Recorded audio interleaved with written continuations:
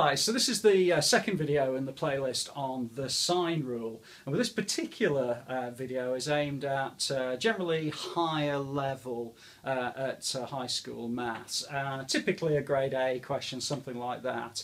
And basically it deals with the relationship between the sides and angles of triangles. So in this particular um, video we're going to look at this relationship which is A over sine A equals b over sine b equals c over sine c. Okay, um, a fairly typical question will involve um, basically a triangle, and they're usually fairly odd shaped triangles really um, to make sure that the numbers work out okay for you and you get given a little bit of information so in this particular case we're told that this is 22 degrees uh, this top here is 130 degrees. Um, and this bit over here is 8.5 and what they ask you to do is to calculate this bottom length. Okay, best advice when you get these sorts of um, uh, questions is to relabel them to suit yourself. Uh, it just makes it a little bit easier if you use this sort of terminology. So what I'm going to do is I actually know that as 22 degrees. So I'm going to say, in this particular case, I'm just going to call it B. And opposite to that is going to be small b. So in other words, that's that relationship at the top there. Um, I'm going to call this C and this bottom bit is going to be small c. I could call it A and B if I wanted to, it doesn't really make any difference providing you make sure that you use this relationship uh, in the correct way. So once you've actually labelled your diagram, you're then in a position where you can start to put some numbers.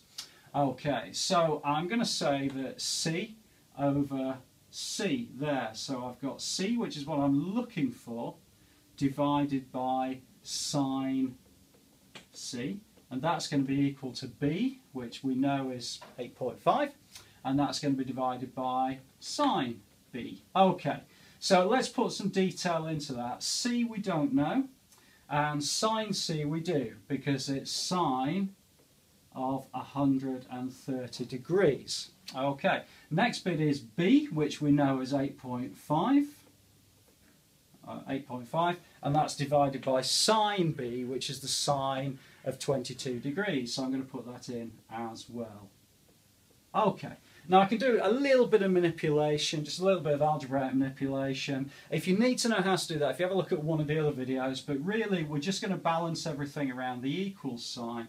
So it's going to give me c equals 8.5 multiplied by sine of 130 degrees, I'm going to divide that by the sine of 22 degrees. And I put that information into my calculator. Need to be a little bit careful with these. You need to make sure that maybe you put that into brackets to tell the calculator to divide that term by sine 22. And once you've put it into the brackets, you'll get some, uh, put it into the calculator, you'll get something like this. So you get 17.38, and it goes on a little bit, 1909, blah, blah.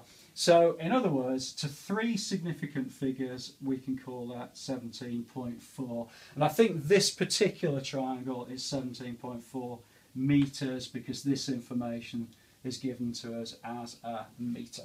Um, I hope that's okay. Please do add a comment below. Have a look at the, uh, the other video on using the sine rule in order to calculate a missing angle. And I'll look forward to seeing you inside the next video. Please do subscribe, pin, tweet, post on this particular video. Look forward to seeing you next time.